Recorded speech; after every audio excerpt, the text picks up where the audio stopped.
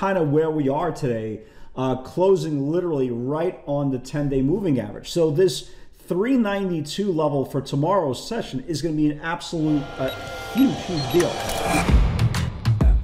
Welcome to Access a Trader, the number one community for those who are committed to taking control of their trading in order to achieve success, profitability, and longevity. Thank you for joining us. Here's Dan Shapiro to help you find your edge, master your process, and own your future.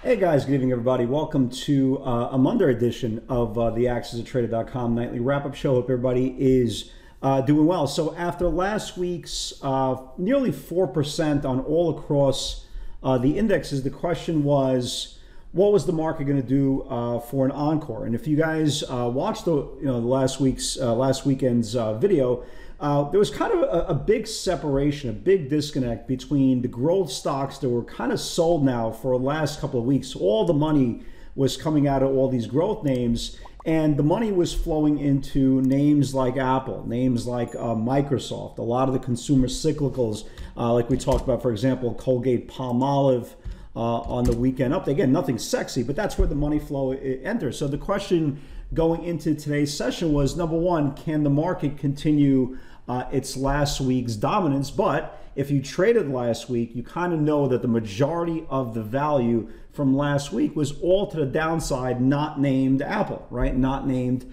uh, Microsoft. So the question it was going coming into the day was Apple and Microsoft going to bring everything else back up that was getting sold, or is everything going to get sold finally going to start bringing down uh, Apple and Microsoft? But especially Apple. It's had this really, really parabolic move uh, that we've been talking about. Obviously, we highlighted uh, over the weekend. And when you look at the scoreboard today, it, it's not a big deal, right? When you look at the scoreboard, you see pretty much everything's down 1% all across the board, but it doesn't really represent the weakness, the aggressiveness in continuation of selling all these growth stories and not even like these stocks like the UPSTs of the world, the letter U's, even names that had this really huge run over the last couple of years. And we talked about on NVIDIA as well. You know, these are the names that are really starting to get into the sweet spot of a lot of aggressive selling pressure. When you start looking at names like NVIDIA and you start looking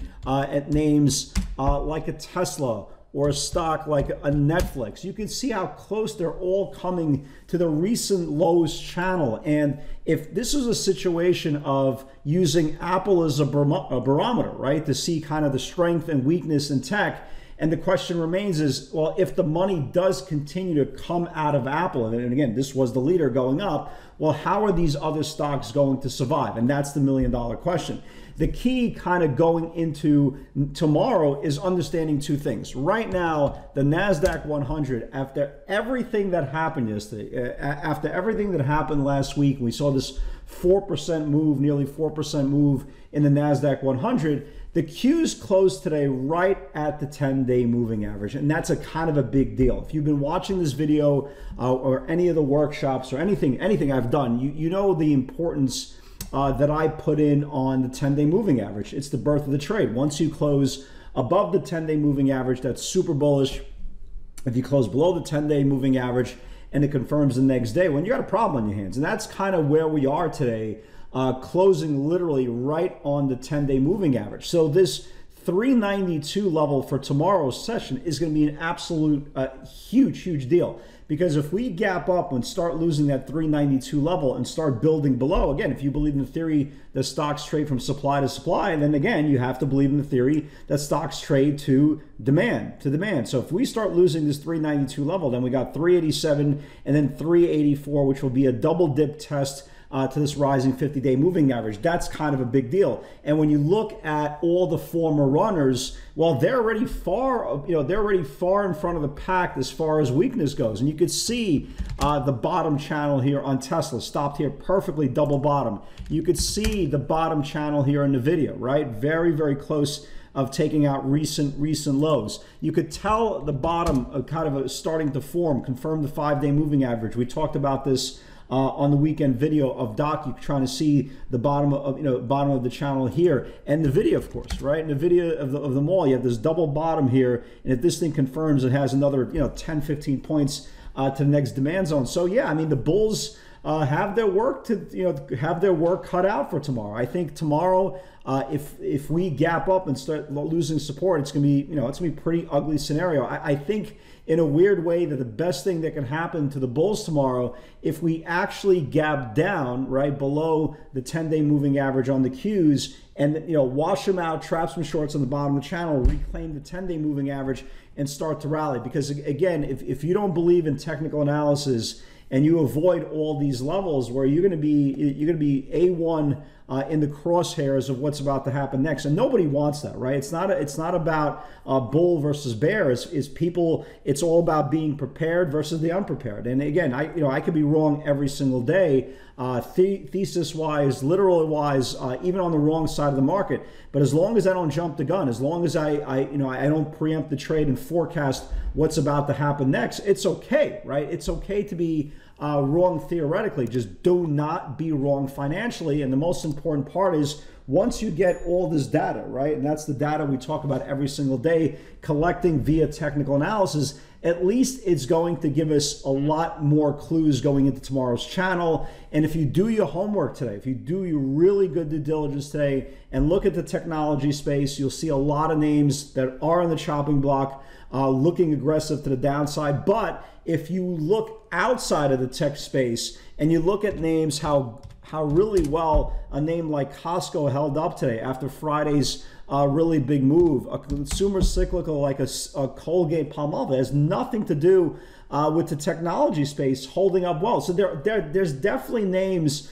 uh, that are holding up. But our, again, our focus, especially from the trading aspect, is looking for momentum, average true range especially in technology. And if these stocks do start confirming, especially today's channels on macro on the Qs, and formally a lot of names that are just st- starting to test out previous week's lows, then you have yourself uh, a big problem. So let's talk about uh, let's talk about some names uh, that I do like uh, for tomorrow's session. I like this Colgate Palmolive. Palmolive uh, we'll, we'll get to the pivots in a second. It started taking out Friday's channel, cleared out all the supply, and now it has this whole gap to fill. This thing starts, uh, you know, getting above all this channel here. Maybe you could start seeing filling a gap here all the way up to 83. Uh, this is a name you definitely want to uh, play on dips into rising 60-minute uh, support. A name like Costco as well. Today was a perfect example of a stock that broke out the previous day uh, and trapped shorts on the bottom of the range, right? You see this whole 49.50 level. Again, we'll talk about the pivots in a second,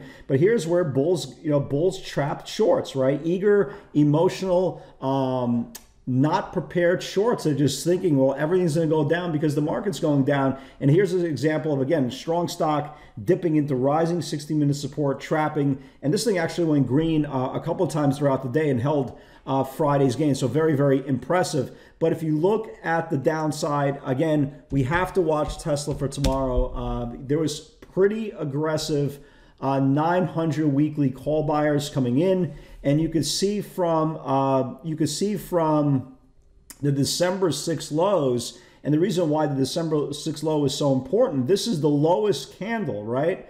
uh, defending the 50 day moving average. So if this candle gets validated, right, or at least confirmed, then you got a move coming to like 930, 909, and all the way down to fill in this gap, which could be uh, very, very aggressive. They were coming for, you know, they were coming for pretty aggressive uh, short-term expiration of NVIDIA itself. And again, they were coming today for the 290s, the 285s, the 280s, and the 270 weeklies. And the reason why they're saying 270, if it confirms this whole channel here, then you have this rising support here, measure potential uh, 271 on the 50 day moving average. Look at Boeing.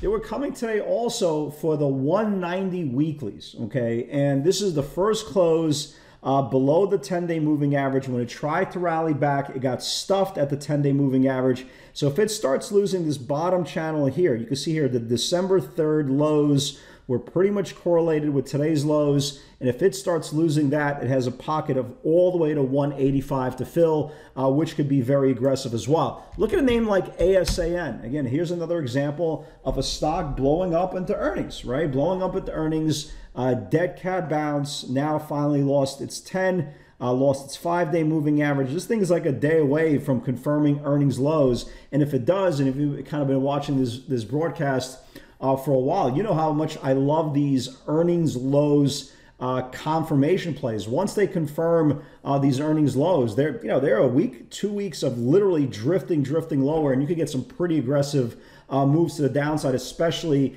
uh, if there is continuation of weakness. So, some really good value tomorrow uh, to the downside. Again, the Bulls are going to really need to. Um, you know, put in some work tomorrow to start reclaiming some macro levels because if that 10 day moving average um, does get uh, violated, right, and sellers take control, then the 50 day moving average is going to be uh, a retest uh, once again. So let's talk about uh, today's pivots. Um, again, in a weird way, today was actually, you know, pretty tamed, uh, at least in the morning. There was definitely some good value in the morning, some dips today. Uh, in names like Microsoft, that was strong. Uh, in names like um, in names like Costco, that was strong. Uh, obviously, the shorts today really, really fell apart, and that was the most important part. How easily uh, they gave up compared to last Friday when they were still fighting over controls. And obviously, when the indexes are up 4%, you know, it's much easier to kind of manipulate the narrative without realizing how ugly it was uh, below the surface. Let's talk about uh, today's action. Uh, snow started off well, right? Uh, we talked about two areas. Uh, 375 and 378 big areas needs to build. Uh, snow was super thin today, really, really thin. it went from 375 to like 377 and change. never confirmed the 378 macro, and then all of a sudden, like everything else, got really, really beat down. CL 79, 75, 80 uh, needs to build. Here was CL, took out the 79, 75, 80. Uh, traded up to like 81 and a quarter within 10 cents of the highs. Really nice move here. I still like this thing uh, going higher. There was actually two areas of Microsoft. Uh, the first one was uh, 240, uh, 340 80s for a dip, right? The first one was 240 80s uh, for a dip, and you can see here why, right? You see this first channel here? Again, rising support. It actually went green on a day and traded all the way up to uh, 343.70s, and they got pretty much rejected at the pre-market highs, and the stock obviously uh, fell apart with everything else. Uh, TTD was pretty good. Uh, for, I, I didn't do this TTD. I was in, I was involved with a whole bunch of other stuff, but TTD super tight. We talked about this 99 to the upside, uh, 93 to the downside. Went to like uh, 90 and change. So nice little move there. Qualcomm was pretty good today. Uh, there was really good call buying coming in. Uh, Qualcomm at the open. it took out the 188, took out the 89, went to 91. Actually, it was a pretty good trade considering um, how weak the market was in, in the beginning. So it took out this whole 88, took out the 90, excuse, 89, and traded all the way up to 91.30. Nice move there. Like really, really nice move there on Qualcomm. And then you started seeing all the names getting weak. All the names we started talking about in the weekend video losing their channels. Uh, Docu earnings bounce was short lived, basically, right? Uh, anything under, it was supposed to be under uh, 142.50. Uh, 142.50, 142. If it builds below can start move back to its earnings lows. So here was Docu, right? So here was Docu.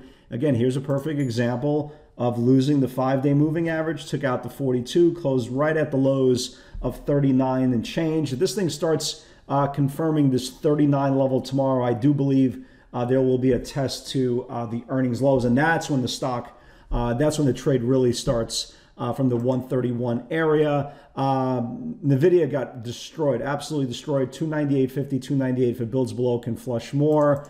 Uh, NVIDIA got, as the kids say, got wrecked. Here was the 298, went all the way down to the 280. And now it's staring a macro in the face, and this thing loses this 280. You're going to see a move to the 250 day moving average. So keep an eye on that. Uh, Tesla for experienced traders obviously never got to 1024 because now we're looking uh, back to the downside. Uh, guys, VRTX continues to look very, very well. Um, stock is just not going down. And it's not going up, but it's not going down. If this thing could finally get above this 209 level, you know, some of these bios have been holding up. Maybe this thing goes. It's holding up incredibly, incredibly well. It's just a matter of time there. Uh, Costco. Here's again. Here's a perfect example of stocks trapping. Right. Costco for experienced traders only. 549, 550 bounce potential into rising support. Uh, obviously, 562 needs to build, and here was Costco. Here was the five. Here was the 60 minute support. You see this whole uh, 549, 550 area. This is where this is where emotional sellers got trapped by technical buyers, and this thing went almost green in the day. Beautiful bounce. I mean, really, really beautiful bounce. Uh, near, you know, nearly an eight nine dollar bounce on Costco. Uh, nice move there. Starbucks uh, still not anywhere close to. Um, and here comes Qualcomm, right? Take on the way up. Uh, 191 on deck, and that was supply. Uh, 89.70s coming. Uh, I didn't expect 280s to come, but it sold off much more there. You know, nice bounce, could go green. It did go green.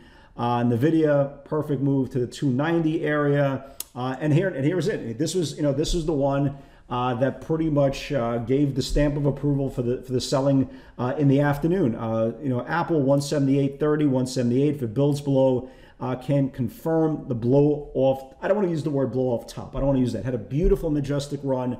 Uh, Bulls did great. It's just a near short term pause. Let's use the word pause. But anyway, 178.30, 178. If it builds below, can flush. I gave about a dollar move initially, and then finally in the afternoon. Uh, it gave it up. You could see here, it finally gave it up in the afternoon and closed right on the five day moving average. And guess what? That five day moving average is obviously going to be important to, to Apple uh, for tomorrow as well, for, for the bulls to defend, and obviously the sellers uh, to try to take control. So, again, market's a little bit aggressive right now. Uh, we are coming up on some key levels. Uh, if you are new to technical analysis, uh, you know, dive right in. You know, fall in love with it. The faster you fall in love uh, with technical analysis, the, the easier mentally uh, you can digest information. And it's all about collecting data and making logical choices on the data you collected. Guys, have a great night, everybody. God bless, and I will see you all tomorrow.